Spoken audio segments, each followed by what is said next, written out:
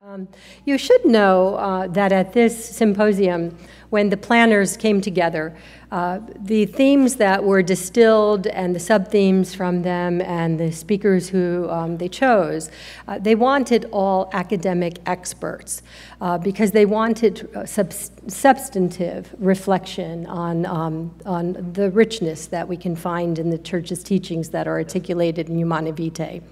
And unfortunately, no one has done any, any writing, serious writing, on pastoral efforts or even on catechetical efforts.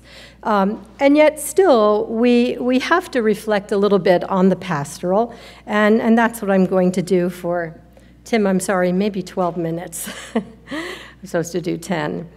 Uh, but let me say this to reflect upon diocesan NFP ministry is to see, in my opinion, a profound, inspiring sign of hope.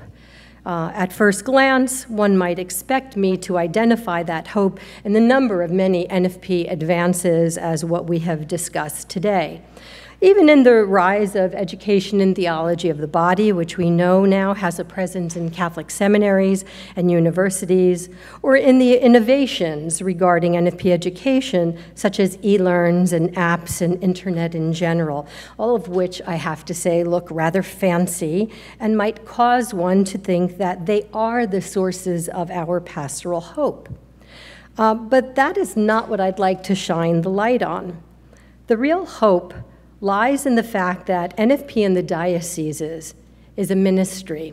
And I can't emphasize that enough. In fact, the founder of uh, my program, Bishop James T. McHugh, constantly underscored that. NFP is a ministry. And as with all ministries in the church, diocesan NFP ministry is an expression of God's call regarding a particular task. Whom shall I send, he says. And in this case, God's call is to specific people to help others embrace his plan for married love through NFP education. Now, the faithful response of the diocesan NFP leader, Here I am, Lord, send me, is worth more, in my opinion, than any app, e learn, or internet educational uh, innovation that we can create. And so this is my point, and this is my main point. I could walk off the stage right now. That the, those people who have generously answered yes to God's call are the signs of hope in diocesan NFP ministry. Now, in order to help you appreciate what I have learned, I'd like to give you um, a brief tour of diocesan NFP ministry. And I would like to look at the leaders themselves and one characteristic in particular. Uh, and before I take you, take you on that tour, um, I'd like to do a, true trip down memory lane, and Richard does uh, talk about this in his paper uh, at length. So I'm just going to briefly mention it because it really is stellar. And that is 50 years ago, the U.S. bishops created the Human Life Foundation. Later, it was called the Human Life and NFP Foundation. And this was initiated by three bishops who were really under siege at the time with all of the dissent that was swirling around Humanae Vitae, one of whom was Cardinal O'Boyle of the Archdiocese of Washington. They invested a million dollars to support NFP research and its promotion. Um, and in any case, I begin with this because the church's teachings, we can say, especially with regard to church leader, precisely because of church teaching, we might say that church leaders have a responsibility to offer practical help, as Familiaris Consortio says, to those who wish to live out their parenthood in a truly responsible way. And I would like to take a moment to acknowledge um, one of the founders here, Mary Kay Williams, who is with us. If you would stand up, Mary. She was the assistant director of this foundation.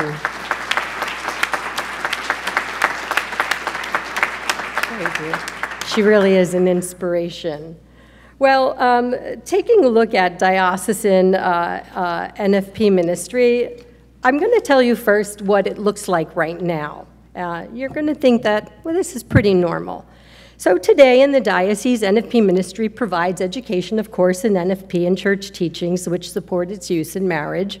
And the ministry is most commonly integrated into the structure of the diocese with an NFP coordinator appointed by the bishop. The diocesan NFP coordinator is typically paid, full or part-time, and is usually an NFP user or a teacher. Most diocesan services can be found under the Office of Marriage and Family Life, although they do exist in other departments as well. They typically have a volunteer staff of teachers of various methods. They provide a variety of classes throughout the diocese and have a presence in marriage preparation. They also provide outreach education to a variety of audiences and are often engaged in fertility appreciation chastity education as well. As I said, these simple facts about current diocesan and NFP ministry, and most dioceses, I have to say at this point in time, um, have identifiable programs, okay? So, so most dioceses have a program.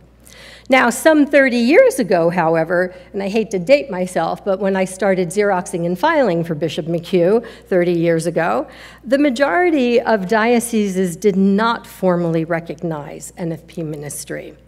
In fact, it was often debated as to whether it was appropriate for the diocese to offer NFP. And that was mostly because of the medical look of NFP education. It was often argued that a Catholic hospital or a Catholic physician's office should provide these services.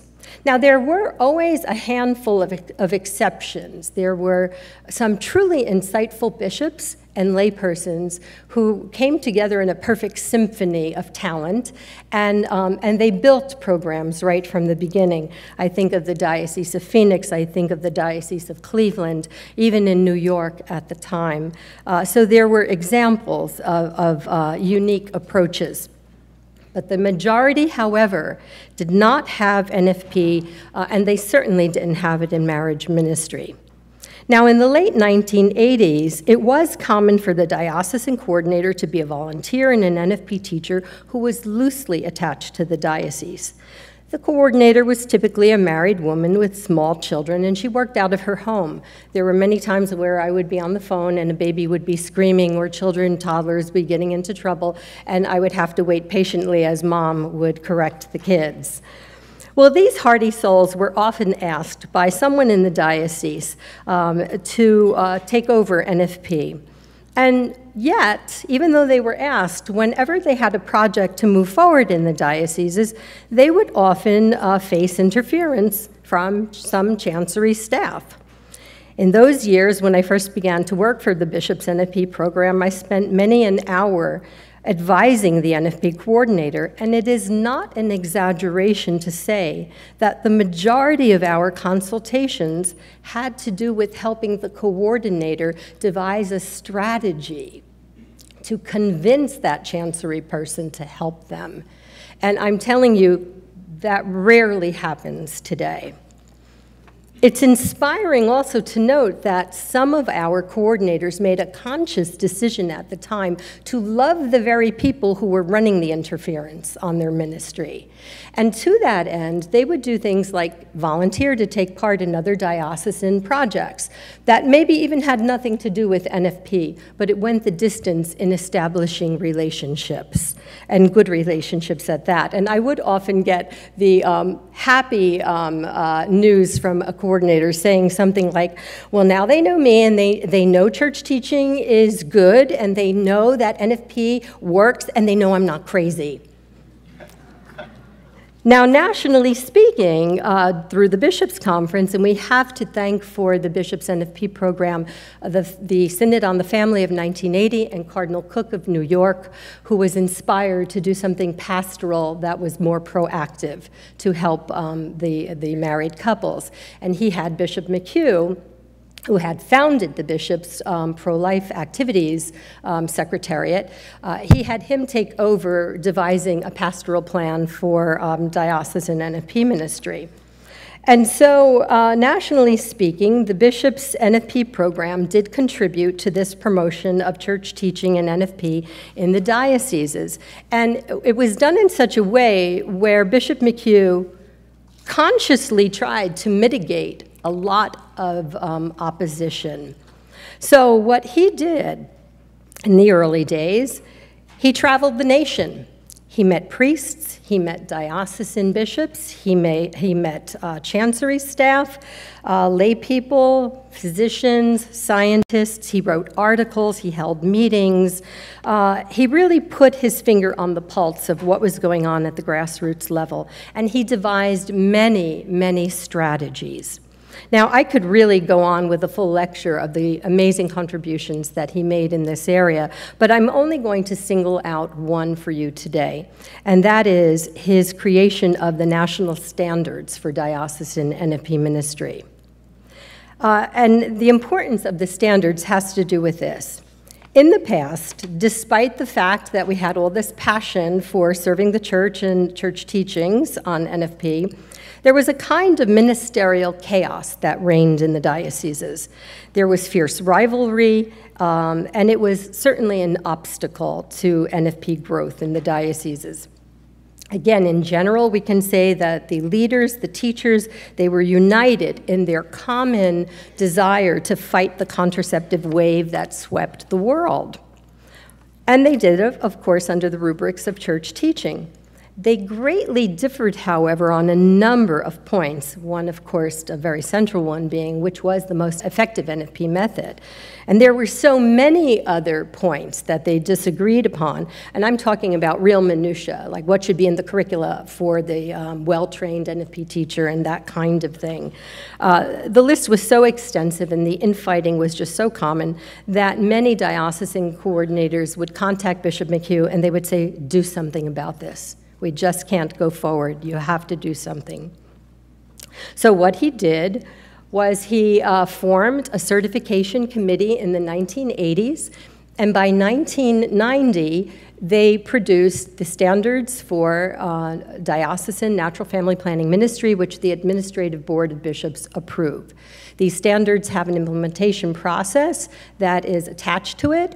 It's a formal process, and we have a current advisory board that um, is trying, has actually revamped that implementation process to, to encourage more dioceses to formally use it.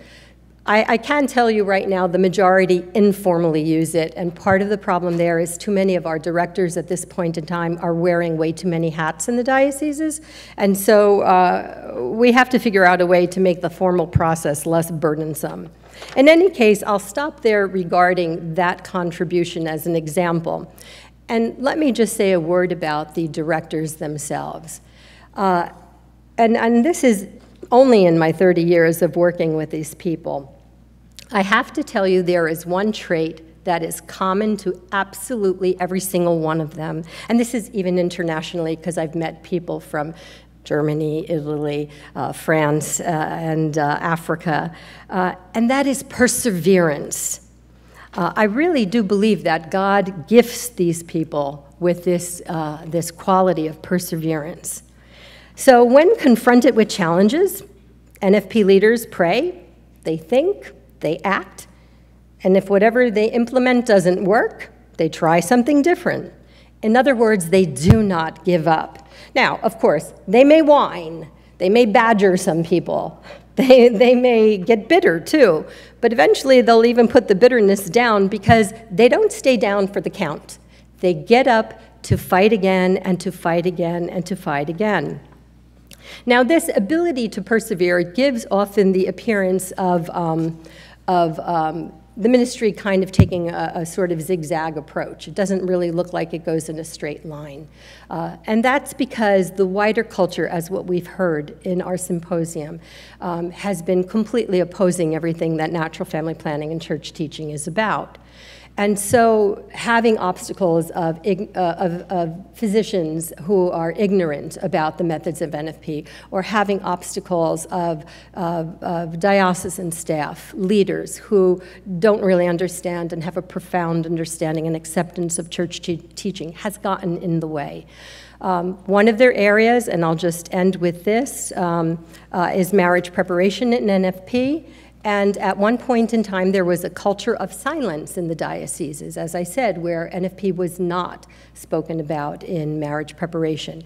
Today, marriage preparation includes NFP because of these this years of work of these people. And the people are lay people, they're clergy, they're religious. It's a good mix of, of, of, of people in the church. Um, uh, and here's where we've got the zigzag. At one end of the spectrum, we have uh, maybe those dioceses that just give out pamphlets and do a little bit of information. And then we have other dioceses that actually have a full class of NFP as a requirement for marriage preparation. And that group is small right now. We have about 12 dioceses that do that, but we have over 22 that are formally looking at how they can implement that in their dioceses. And I keep getting calls, honestly, weekly. I, you know, I'll get a handful of calls each week or, or emails saying that they would like to do the same and who can I talk to who has already done it. So we've been trying to um, to give them uh, examples and resources on our website as well. So let me end with Paul VI one more time, because as I said, the hope that I see in diocesan NFP ministry is the NFP leader, him or herself, who has answered God's call. And Paul VI, at the end of the encyclical of Humanae Vitae, he addresses bishops. And I think that even though he addresses bishops, these words are important for the NFP leader because when they work in the diocese, they assist the bishop in his ministry. And Pope Paul said, Great indeed is the work of education, of progress, and of charity, to which we now summon all of you.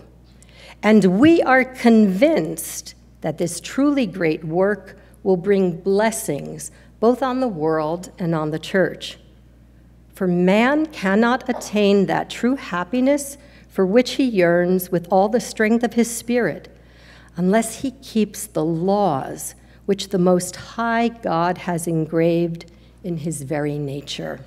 Thank you.